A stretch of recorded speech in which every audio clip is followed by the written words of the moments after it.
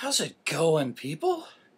Well, I just got this in the mail from my good friends at the uh, Scientology group. I thought I'd try something a little different for a video. So I haven't done this because it takes a little preparing. But since Scientology disappointed me, I figured at least uh, I can make something that never does. Nice dry martini. Ah, a little more. Okay, let's start off with a little uh, extra dry vermouth. And that's about good. And a uh, little extra dry, dry gin.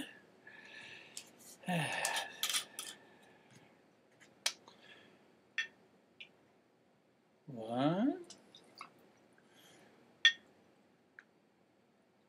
two, and a half, a little more than half. All right, let's do it James Bond style. Shaken, not stirred. Think that's good. This has been chilled. All right. I forgot to grab my olives, so well, we'll do without. uh,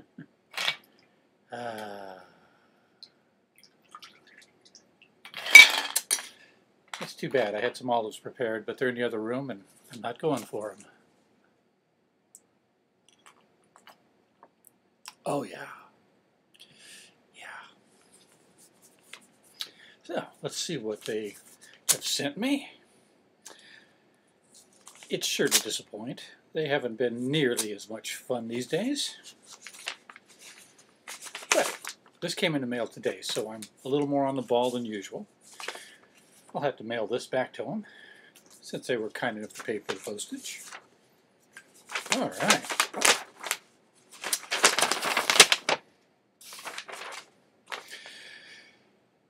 Dear Richard, what did you find out about in the problems of work? I don't really have any problems of work. I mean, I'm doing just fine. I'm in the black because uh, I don't have parasites like these people hanging off of me. Um, and I kind of like my job. Um, I thought it was impactful, and I often reflect upon it at my job when I have a lot of a lot of tasks at MCE. a lot, one word. uh, there are short courses you can take here at the mission. Come down and see what we have because the building's practically empty. Day long, I know. It's funny because uh, at my work we were uh, negotiating a new contract, and so our union had all these people marching past where I work, and right next door is a Scientology uh, ideal org, and we go right past their front door, and they all look like, "Oh shit." so used to people being pissed off at them. All right, all the best. Um,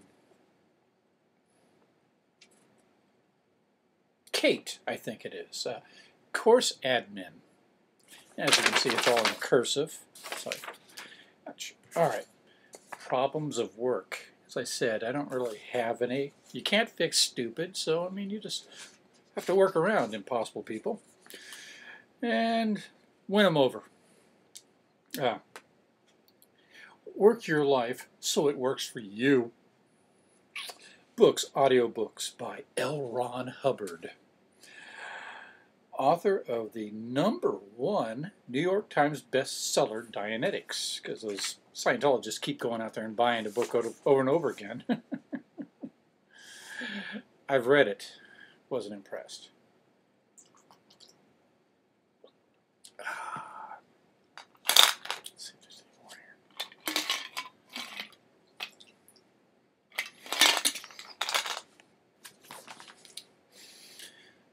Life is composed of seven tenths work, one tenth familial, one tenth political, and one tenth relaxation.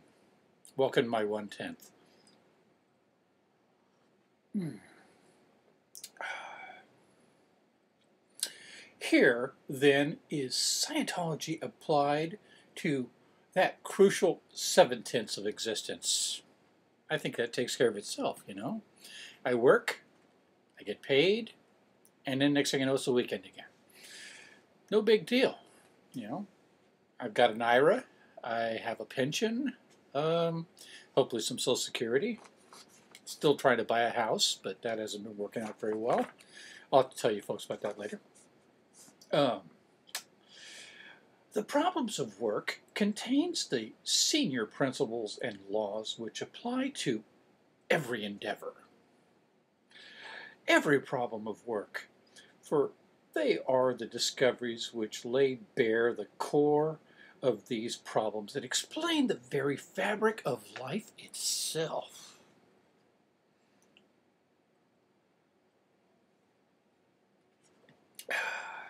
The breakthrough details here include the anatomy of confusion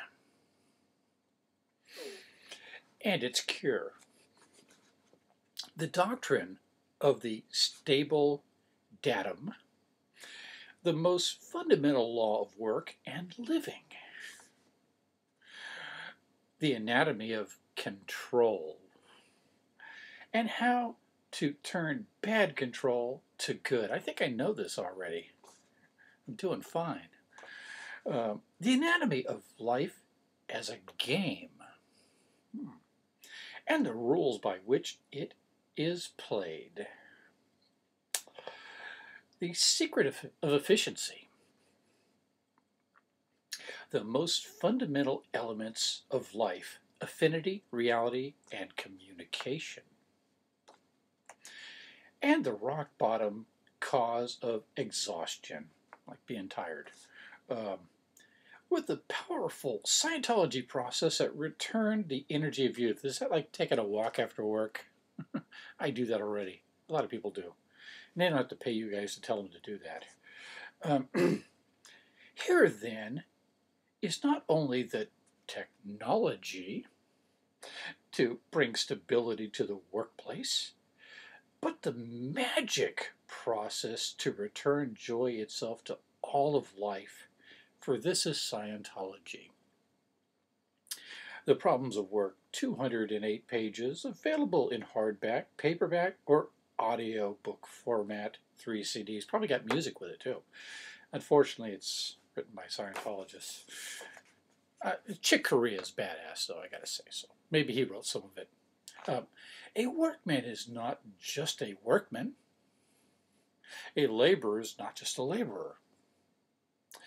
An office worker is not just an office worker. Okay, I see where you're going. You're just going to say one thing is not just, just what it is.